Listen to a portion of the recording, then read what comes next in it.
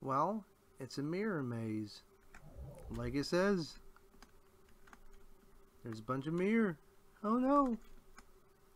Is this too much mirror for VRC though? Hmm.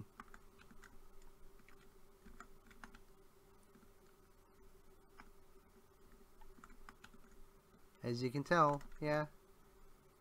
There's mirror. And there's a path. Basically, you know, all you gotta do is just keep your eyes on the ground.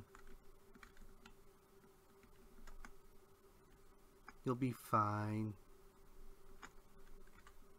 Don't pay attention mirrors.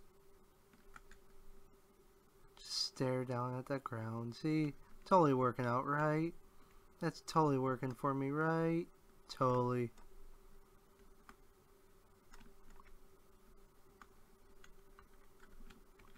I'm not lost or stuck. What are you talking about?